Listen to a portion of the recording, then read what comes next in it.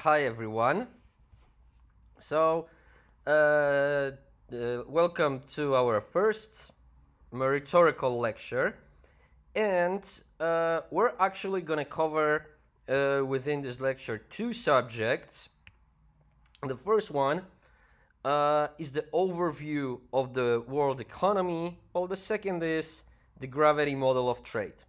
Look, when you study a subject uh, like international economics, it is uh, rather important uh, to see the bigger picture. And we can see the bigger picture by uh, looking at the data from the real world and see and we need to see and understand uh, what is happening in the global economy.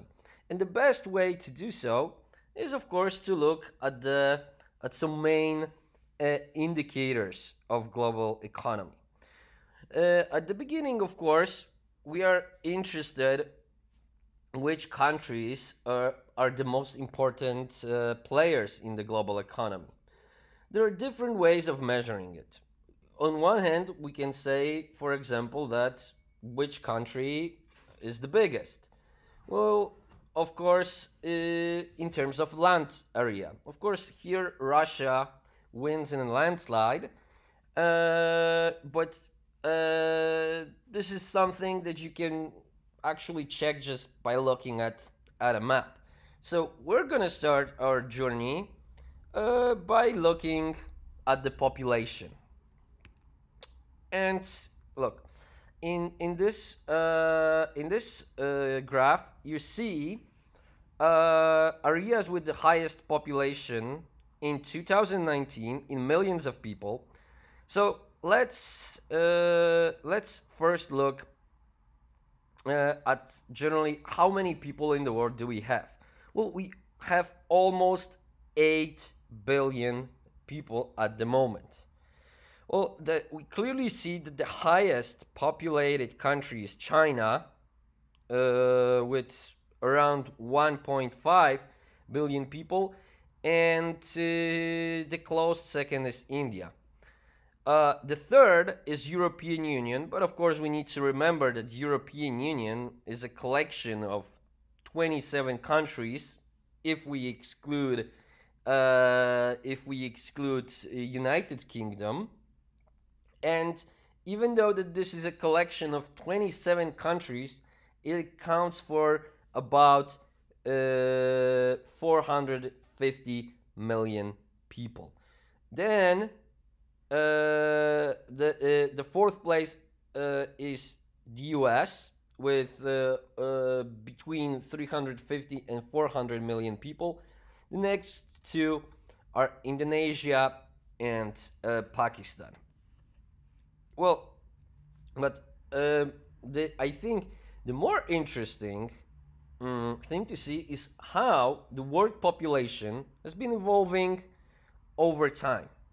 And this is what we see on the next graph. Look, here we have, again, in millions uh, of people, population of the world between 1916 and 2019. So we are covering the last 60 years. And what do we see here? First, this is not a trend line. This is actual data. And look, this data looks basically like a straight line. And what uh, what do we see from here? That in 1960, in the world, we had a little bit above 3 billion people, and the population has been growing steadily and uh, by all means very very fast. And uh, in 2019 we are reaching almost 8 billion people. And think about it this way.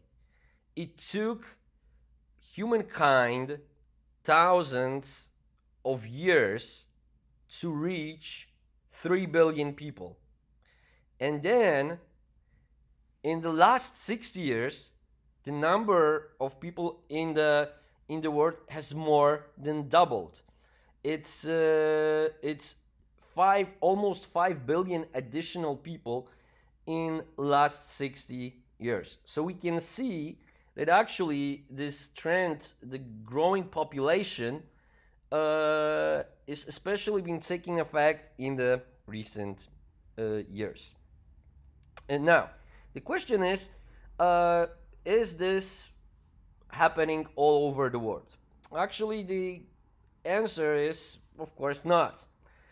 Look, when you see, for example, usually when we divide countries to those that grow relatively fast and relatively slow in terms of population, we used uh, uh, we use the distinction based on the level of development of a country, and for what we can see uh, over here is that population of the European Union has been increasing, of course, but look, this line is looks very concave. It increases, but at the at the decreasing rate.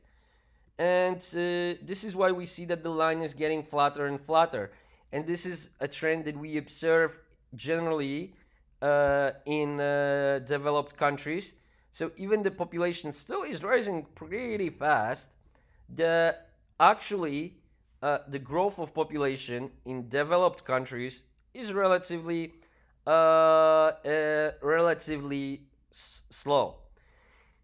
The best example of it's Japan. Look, J- uh, population of Japan wasn't growing very fast to begin with, but actually, in the last 20 years, and definitely in last uh, 10 years, we see that the population of Japan has been declining, uh, which is a phenomenon that can be observed in general uh, in developed uh, world. But of course, there are uh, it's not always like this.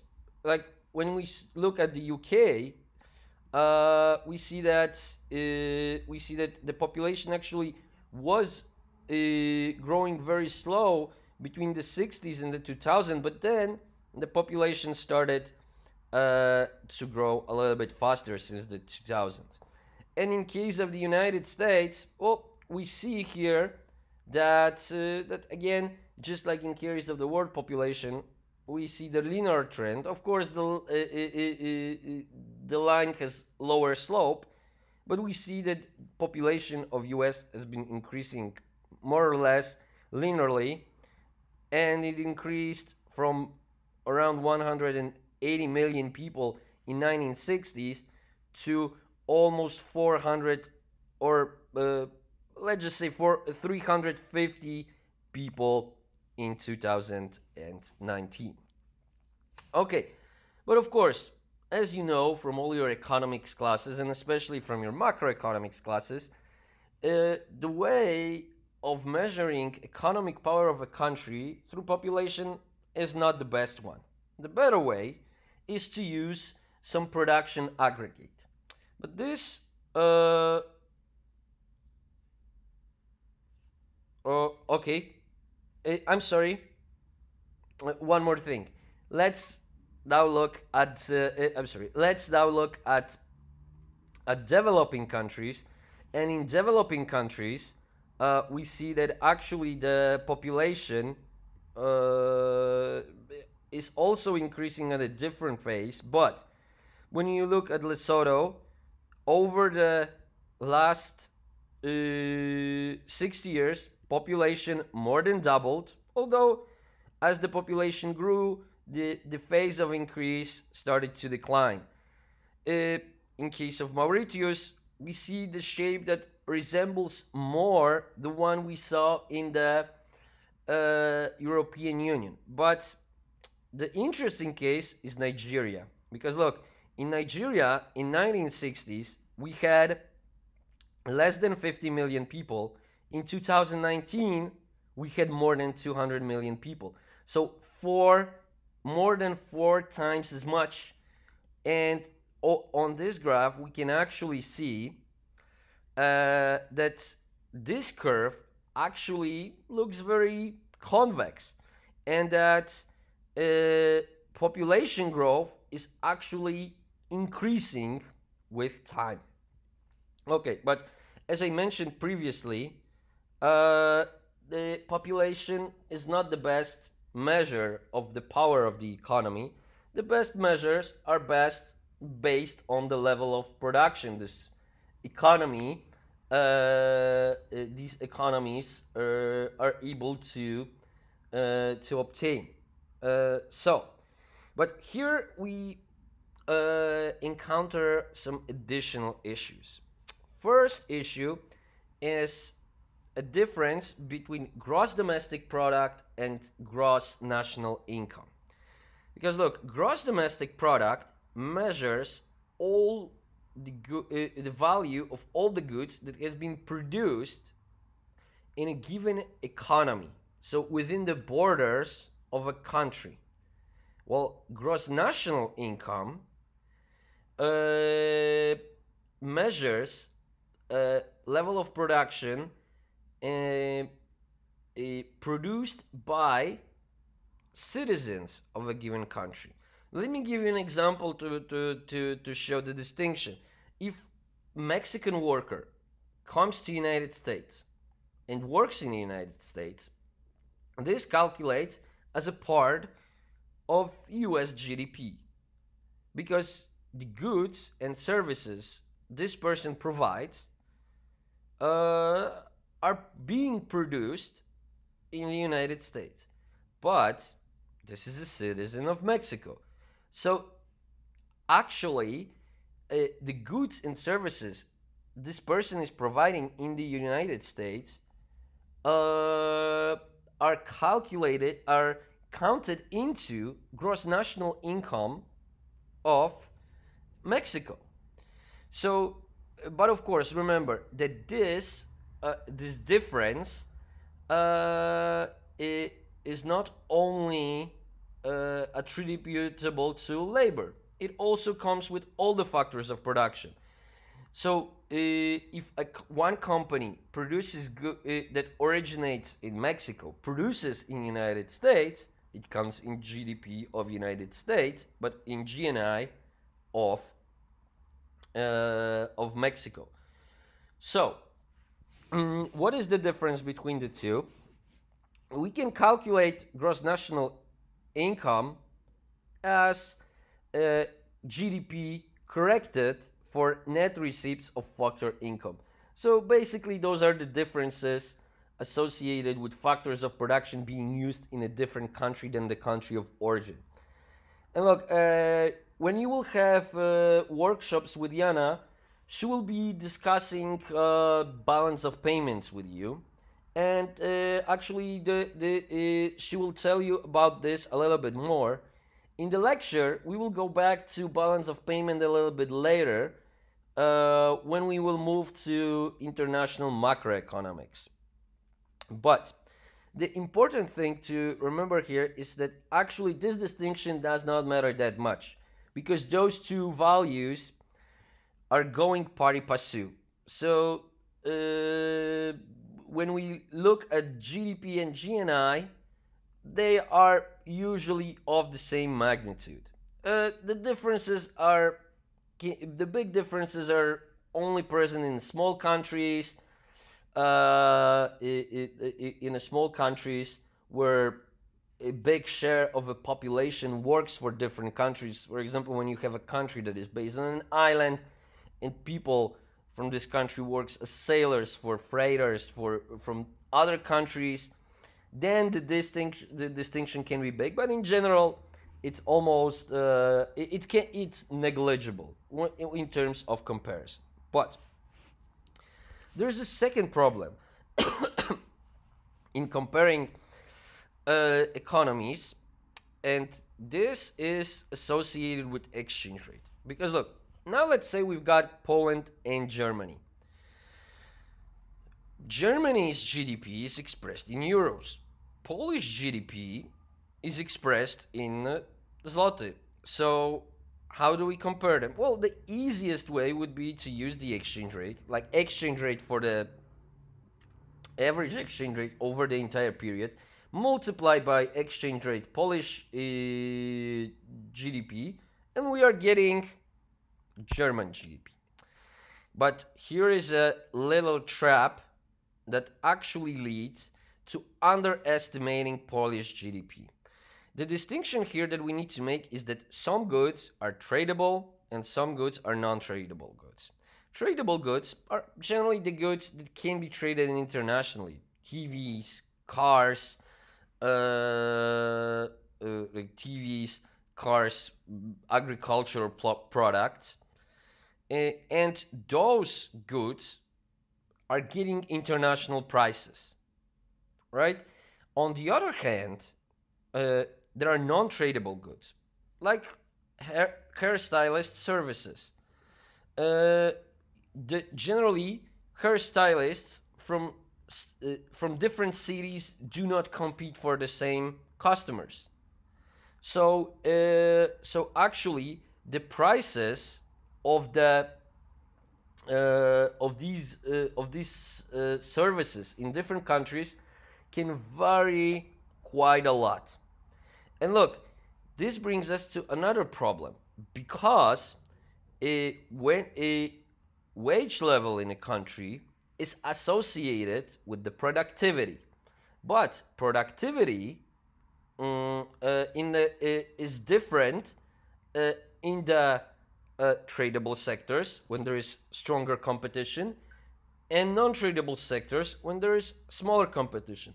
But look, wage, on the other hand, uh, in a given country is some average wage for both tradable and non-tradable uh, sectors, simply because within the same country, uh, companies compete for the same workers uh, a, a country, companies within the same country but from different sectors compete for the same workers. So we expect, like, if Germany has higher productivity, they will have higher wage. With higher wage, they will have higher cost of producing non-tradable goods, and by that, and due to that, non-tradable goods will be more valued, even though the productivity in both countries in non tradable goods sectors can be very similar. So, if we would just multiply value of the goods by exchange rate, we would be undervaluing exchange rate of Poland, uh, uh GDP of Poland, and overvalued GDP of Germany. In order to correct that, we uh, we can use purchasing power parity. Another term that will be explained in more detail in the future, but basically, some international organization collects uh, data on prices of different goods and makes corrections, and they make corrections in order to make GDP or GNI more comparable. Okay, so now let's look at areas of the world with the highest uh, GNI. Uh, look at the again. We can start with the words gross national income, which is actually, in case of the word, equal to gross domestic product in 2019. And uh, now look here, we've got billions of dollars. So if I'm gonna cut those three zeros, we've got 120 trillion dollars. So we can say that world GDP is about 140 trillion dollars in 2019. Now, what, what, what are the bigger, biggest players in the economy uh, in the world economy? China definitely number one with more than 20 trillion dollars GDP, followed by US and the EU. But look, China has more has has around 1.5 billion people. United States 380 million and European Union, uh, 300, eh, I'm sorry, 450 million people. Then it follows by India, which again has a lot, a lot, what, like one, four billion people. And then we've got Japan and Germany, we, which have uh, uh, which have more than 100 and uh, about 80, 60, 80, 80 million people. So, this should gives us another indication of what we should look for. Like, China produces the most, but it uses so many people to produce only a little bit more than United States, which uses uh, uh, uh, between four and five times less people. So how can we? So how can we make this? The, uh, the, uh, so what should we take into consideration here? Well, as you all know from macroeconomics, we should compare GDP per capita. GDP per capita will give us some indication of average wealth in the uh, in the country. Remember, it does not tell us anything about the distribution of wealth. We can have a situation in which 1% of people are very uh, rich, the rest are very poor, but on average, uh, we get a, a, country that looks relatively rich. But we are not going to be talking about normative economics in this class, so let's just look uh, how GDP per capita uh, uh uh, in the world looks like. So, first, uh, we see over here the countries with the highest GDP per capita, of course, in real dollars uh, mm, and uh, in purchasing power parity. Here we have just dollars. So look, we see that the richest country is actually, uh, or territory, uh, is Macau with, uh, let's just say, $130,000 per person per year. Uh, and the next one is Luxembourg, then it's Singapore, Qatar, Ireland, Switzerland. Now the question is, uh, is there any difference between what we saw before? Look, none of the, those countries were on the previous list. Actually, we see that all these countries are very, very small. So, uh, what makes them so rich? Well, actually, when you have a small country that, it, that, that has a high productivity in some sectors, for example, it just in some sectors, it's relatively easy for this country to get very rich. For example, Luxembourg and Switzerland are very famous for their high productivity in financial services. Uh, Singapore and Macau are small countries uh, that trade quite a lot, and they uh, they add a, uh, they add a lot of value added to the to the goods they import from other countries, and they then re-export. A Qatar on the other hand, uh, has great resources. So as you see, when you have a small country with uh, the, the with high productivity in one of its leading sectors, it can achieve high level of income uh, uh, quite easily. But now, let's look at the world GDP per capita and let's look how it changed over time. And look, First thing we see is that it grows rather fast. So, in 1990s, uh, world GDP was around five thousand dollars. Well, uh, slightly above, but in 2019, it was let's just say eighteen thousand dollars. So increase is quite big, and we see that this increase is relatively steady. And actually, it looks like GDP per capita, world GDP per capita, increases faster than proportionally. The, the, the, the, the line here has a conca- convex shape. So, does it mean that uh, situation in the entire world is improving? Well, unfortunately, it does not look that good. When we for example, make the distinction, like the distinction made by uh, World Bank between high income, middle income, and low income countries, we see a very different picture.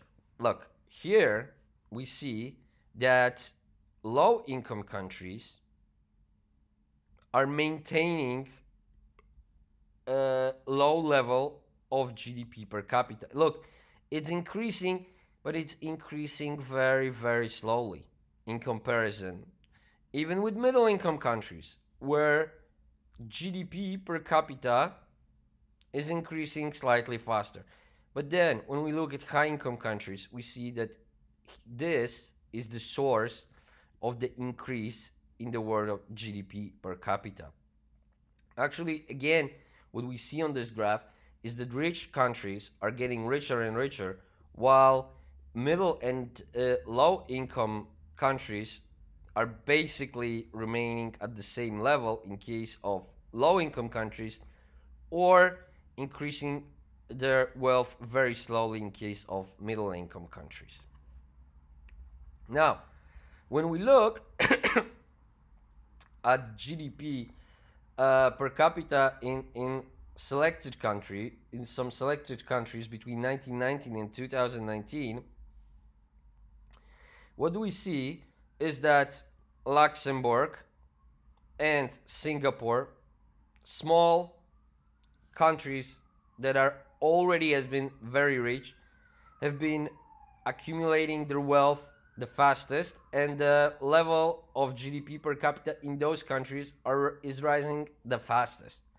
Then we have bigger economies but rich, like uh, Belgium, uh, UK, or Japan. In those countries, GDP per capita is increasing, but it's increasing at slower pace. Then, when we move still, remember all those countries that you see over here are OECD countries, that are developed countries. But even within this group, we see that Mexico's real GDP per capita has been roughly, uh, has been increasing very slowly. And, uh, but of course, in case of a country like Poland, it's also increasing relatively slowly, but the pace has been uh, catching up in the most recent years. Okay, so, the main, the first part of our course is associated with trade. So now it's a good idea to look at the word trade. And look, we're going to be looking, what we looking at here are the word exports. But look, word exports expressed as a percentage of GDP. This is very important.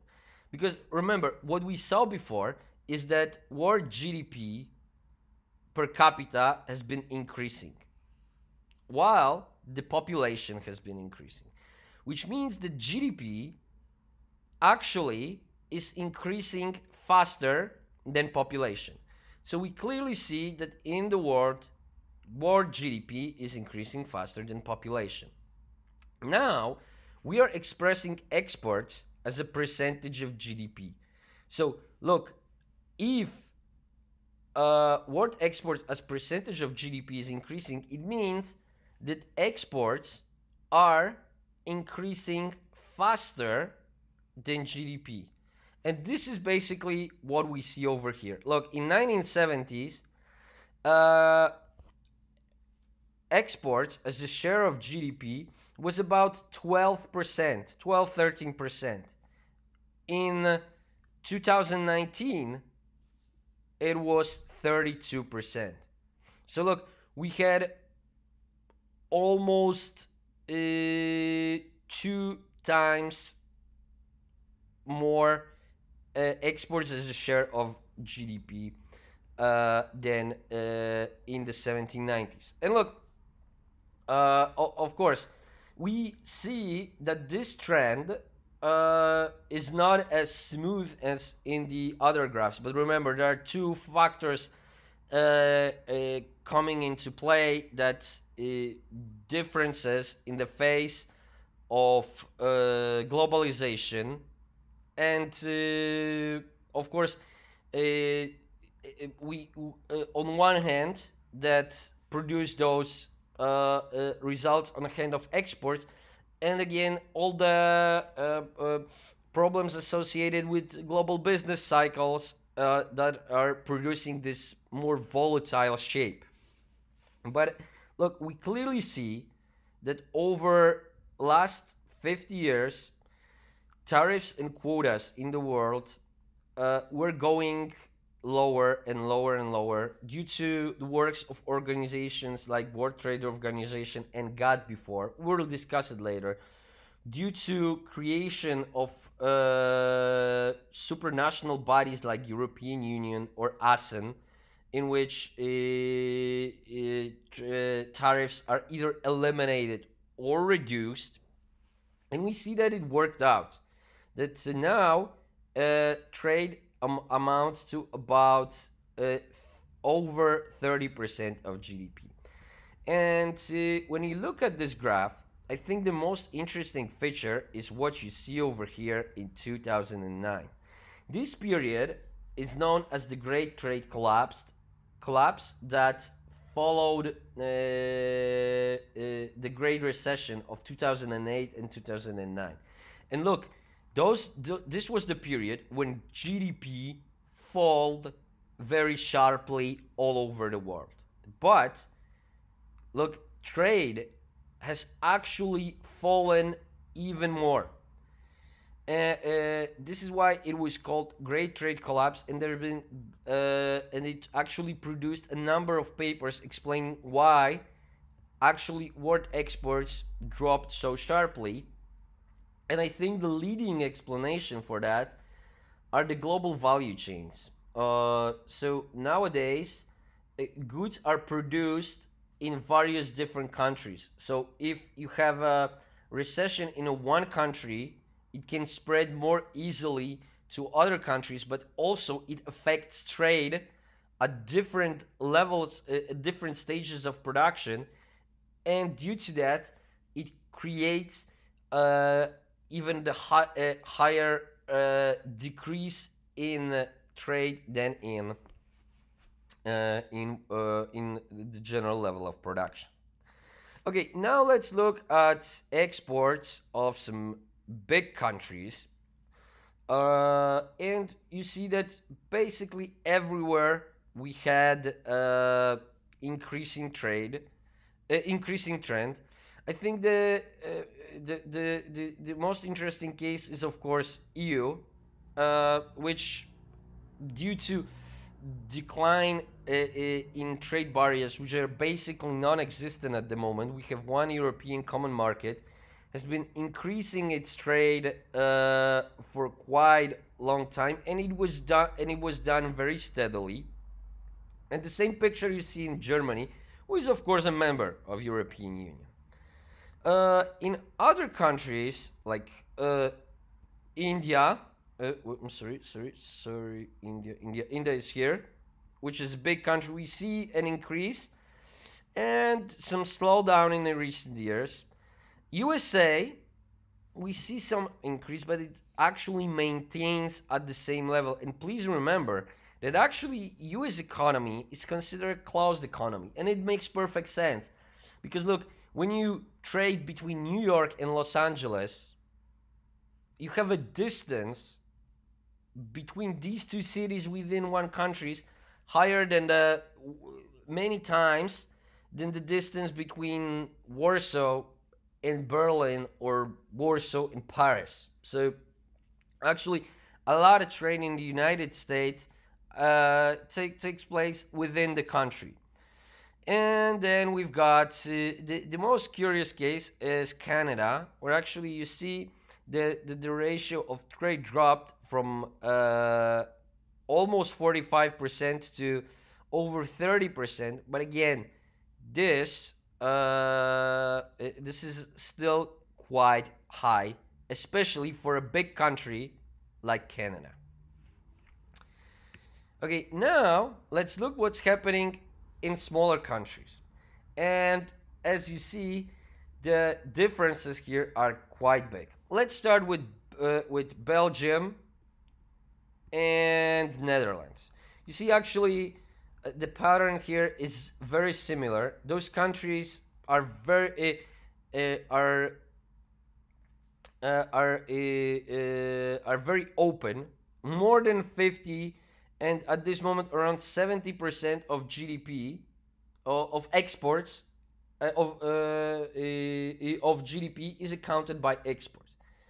Uh, and of course it makes perfect sense uh, as those countries of course have big ports especially the port in the rotterdam which covers a lot of trade in the european union but i, I, I think the most interesting cases are hong kong and singapore and look at this period over here singapore since 2010 and Hong Kong, uh, well, be, between 2000 2010 Hong and 2010 had exports accounting for 200% of GDP. Well, when you think about it at the beginning, it makes no sense. G exports is a component of GDP. How can it be twice as big as GDP? Actually, this can be explained quite easily. Look, Singapore and Hong Kong are very small countries that trade trade a lot. And of course, Hong Kong a territory, but let's call it a country. Uh, so, what do you see is like you when you uh, uh, when you calculate GDP, of course, from exports you must uh, subtract imports, and those countries are importing a lot of goods semi products, they work on them, they add value to these products, and they resell them on international markets. And this is why G- both GDP, uh, both imports and exports of those countries are accounting for up to 200% of their GDP.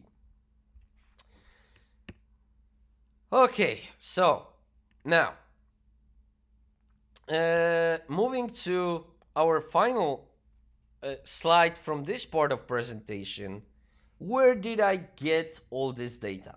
I didn't pull all the put all the data sources and I did it on purpose because I wanted to I want to now show you where you can get good quality data on the world economy.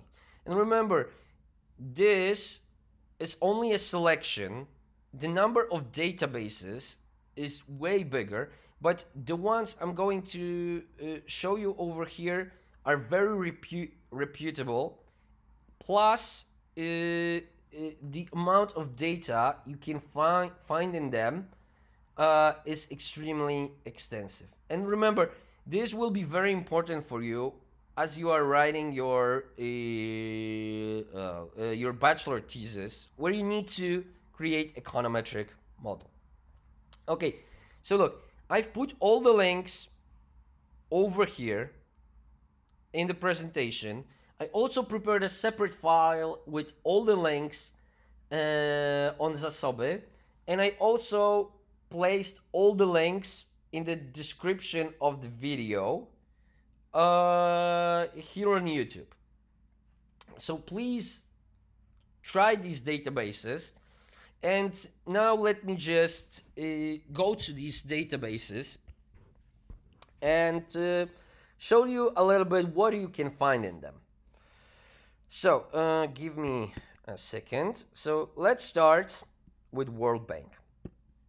Look, I actually am showing you two sites. In over here in World Bank indicators, you have a division of different aggregates and measures you can obtain. They are divided here in infrastructure, external debt, gender issues, infrastructure in different countries.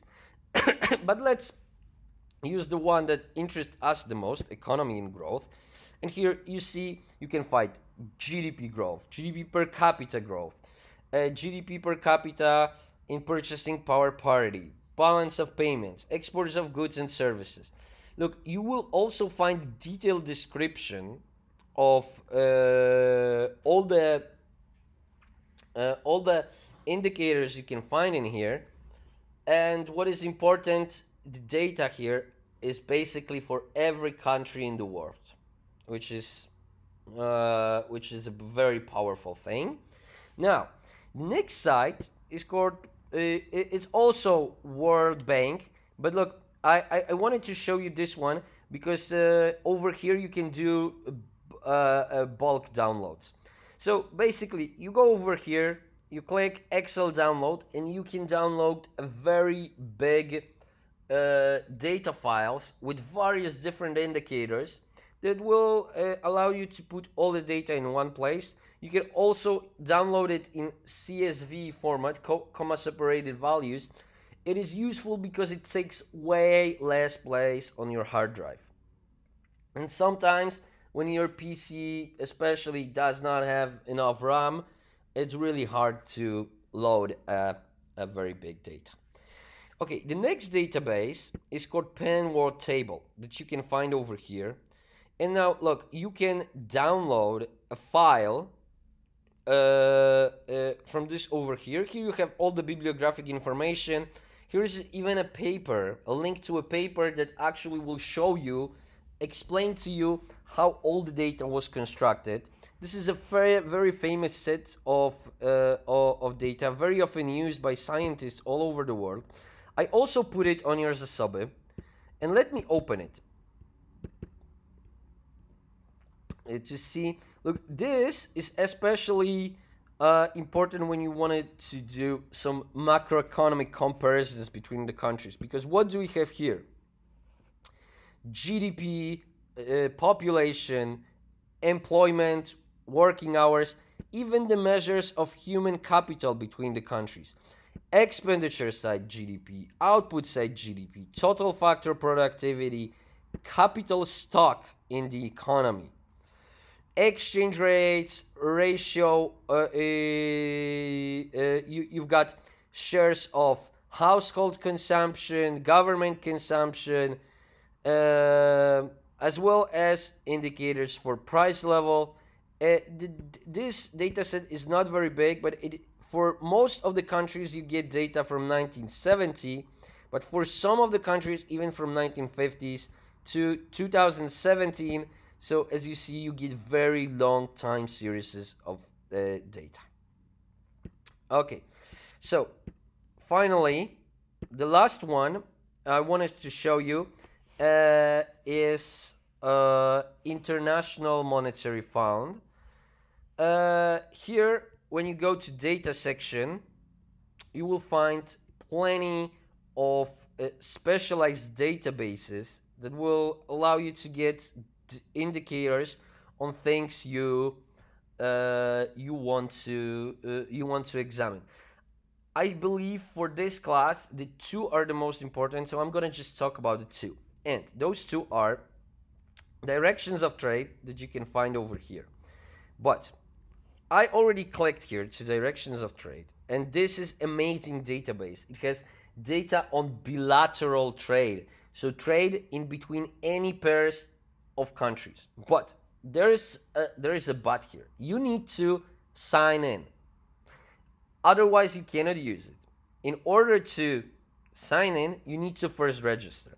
I already registered many years ago, so I cannot show you how to do it. But important thing is, if you want to register, you need to use Lazarski email. Look, when I'm signing in over here, I'm using Lazarski email because this is a work email. Uh, you can use your Lazarski email that you can get from IT office, logged in here, and then you can explore the data as you want. And now look, here actually uh, the tools for data download are very well constructed. I recommend you to go to bulk download. And look, you will be doing gravity model of trade as a project for your uh, uh, uh, for your workshops. And you will be using exactly this data. So let me show you how it works. Here you can uh, choose okay first frequency of data. When we talk about trade data most of the time we don't need quarterly data. Annual data is okay, as you will learn, uh, uh, especially in the context of international trade economics, we talk about long run tendencies, and they are actually exhibited uh, uh, in yearly data better than quarterly or monthly. Sometimes in macroeconomic context, we use quarterly uh, data very uh, in a very, but uh, not very often monthly data. But it's good that it you, we can have it. Then you can here you will check. Uh, uh, you can check uh, a time period you want to use. Okay, let's say we want to have data from 1990 till 2019. And now, you can choose a country. Here, the best way to start is deselect everything. And look, you choose a first country. Let's just say I want to know how Poland trades with other countries. So I need to find Poland.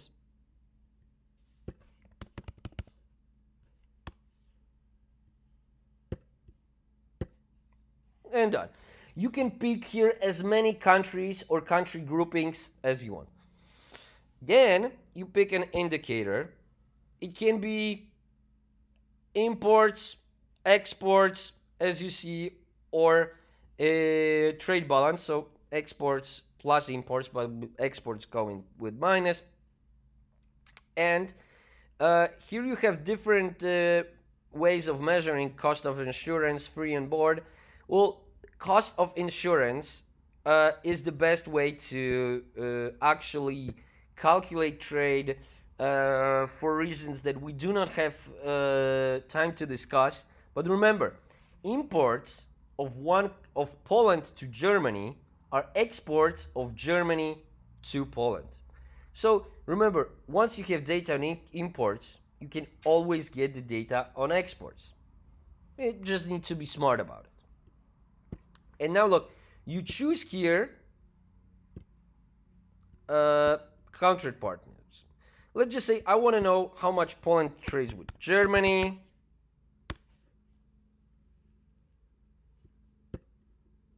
and uh, uh, it doesn't matter. Angola. Okay, and look, now I'm just clicking OK. And now this uh, now the, the site has prepared a file for you. This is a CSV file, comma separated value. So if you want to use Excel file, you just need to change commas, uh, dots into commas, which is very easy. You go to My Downloads.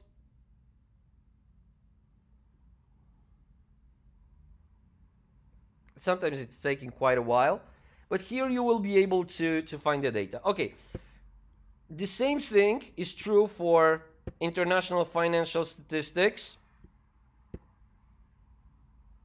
Um, sorry, some. Oh, it's already here. So you see this is my, uh, I can download the data over here. I got it in CSV file. Now, uh, if you wanna you wanna have it in Excel file, remember you go to data, uh, text as columns, and then you go next, next, done. Oh, I'm sorry, something went well uh, something went wrong.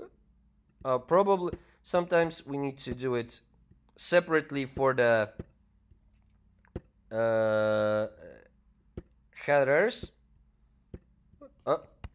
Okay, I know what is what it is. Okay, we will have to use uh, division by comma